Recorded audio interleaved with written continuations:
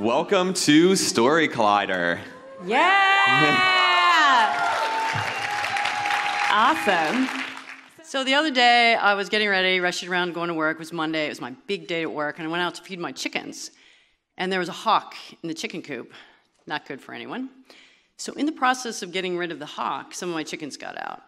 And I went to get them back in. I had already put food in there, so that wasn't going to get them back in. And there is a very careful process for herding chickens. If you go directly at the chicken, you will never catch the chicken, at least in my own experience.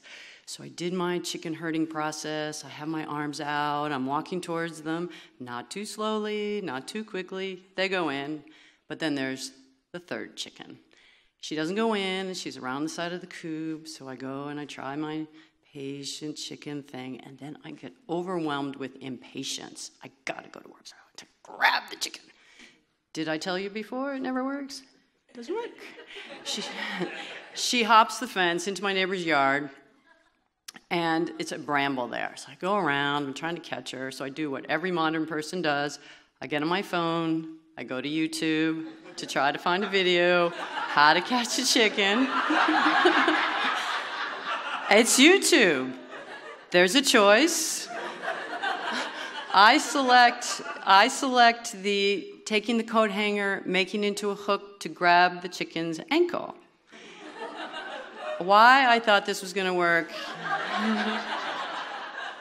the, the guy in the videos in this yard is like this big. I have all these trees and branches. I'm sitting there with a hook and I'm thinking, you are a complete idiot. It's not going to work.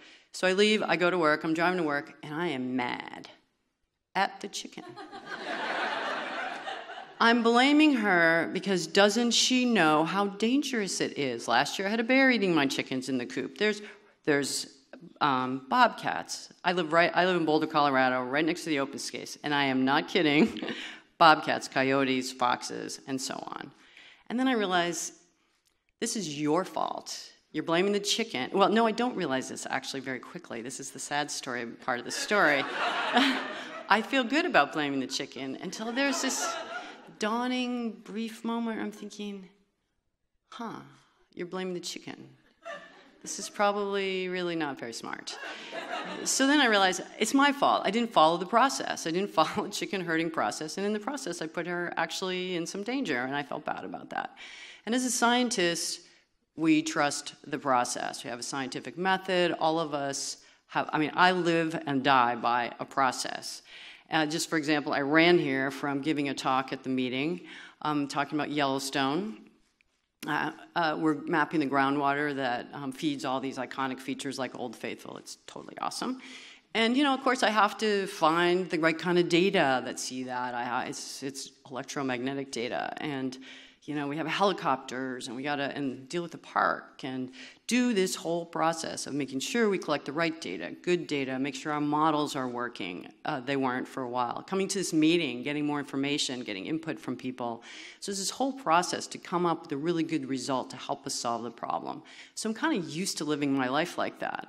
And about 12 years ago, I was elected General Secretary of AGU, which is the treasurer. I was also the supervisor of the uh, executive director, which is pretty silly. Um, and that was before I was president. And I went into this thinking, oh, there's going to be some process by which, you know, we govern. It seemed like it at first. I, I had been in the organization for a while. I, I was very close to the executive director. He was a mentor and a friend to me. But pretty quickly, well, not pretty quickly, it's just kind of like the chicken in the car. Slowly. um, in retrospect, it was quick, but it wasn't. It wasn't. Um, I started to seeing, you know, AGU is a great organization and has been for a long time. Our meet, at the time, our publications, high impact factors, we had a very popular meeting, growing membership, dedicated, long-serving staff. There was lots of great things about AGU. Same time, there were signs that AGU wasn't ready for the future. Um, they were still using Lotus 123 for the budget. Um, uh, and Word Perfect 2.0. Word Perfect 2.0. This is only 10 years ago. Uh, yeah, you get the picture, right? And, and there are other things too. Lots, you know, there was decision making was all made at the top. The press people had to ask to buy a couple hundred dollar camera. There was lots of staff complaints. There was just a lot of things that were going on that were showing this dichotomy between looking great and not looking great. So, the, so we in the leadership thought, well, we need to make some changes. So we, we went to talk to the executive director, who, as I said, was a mentor and a friend, said, hey, look, we need to do some things to prepare AGU for the future. His attitude, essentially, is what he said to us was, I've been running AGU fine. It's been for more than 35 years. It's been very successful. That was true. I can run it the same way for another 35 years. And I'm thinking, eh, maybe not, you know, I don't. But here's the problem. I had no idea what making AGU ready for the future was. I had no process.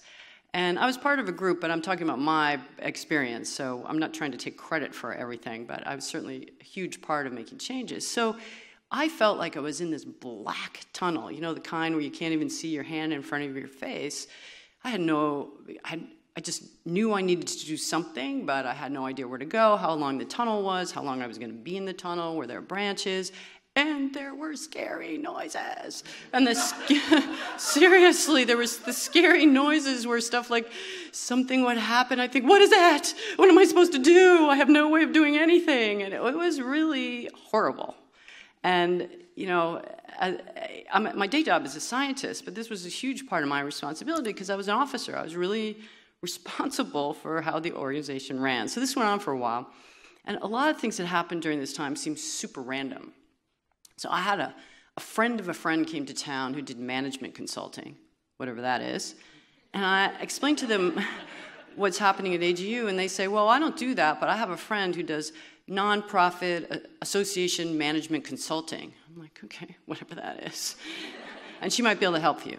So I talked to the president at the time, and I said, Hey, I have this person, maybe they can help us. And he's like, He had been head of an organization. He goes, You know, Sometimes these consultants can be useful. Let's just let's just see it. I mean, I cannot tell you what an understatement that was. So I called Mary Beth, and I explained the situation. I really, you know, it's I just felt stupid. I didn't know what to call anything. I had no process. I had no names for anything.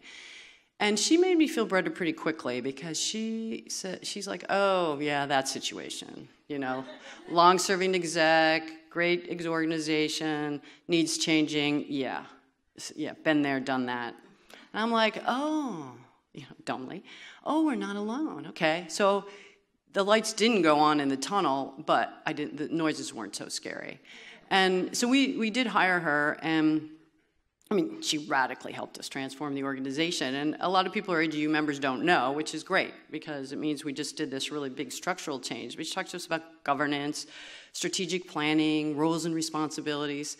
We found out as the council that we were supposed to take care of legal and you know reputational and um, financial parts of the union. We weren't doing that. We weren't doing our jobs at all and in fact when the council found out that that was its job they were like they're all scientists we don't want to do that so in this super radical move they voted themselves out of existence and happily. And that was to pave the way for the, for the structure we have now, which is a science council where they all get to talk about science, and a board of directors, which does have scientists on it, but, but deal with all this stuff. And, you know, it, it went on and on. I mean, there, uh, there was lots of stuff, and it was so hard because the people we were going against was somebody who was very close to and a mentor. And I went through this period of trying to convince him of you know, how great these was going to be, this change. And of course, he didn't want to change. I, I would like to say that I learned this lesson, but I still have to learn it over and over again. You can't convince people of things they don't want to hear or can't hear. I, you know, I still make that mistake. But in the end, I got a process. I, I, had a goal. We, we, we had a picture. So I felt a lot better. But one of my friends, when I was telling her about this talk, said, But you had a process. You got more information. You asked for help. And I was like, yeah, it's like, you know, okay. But um, so I just really, you know, got to appreciate again the situation of trusting a process, and in the case where you don't have one, find one.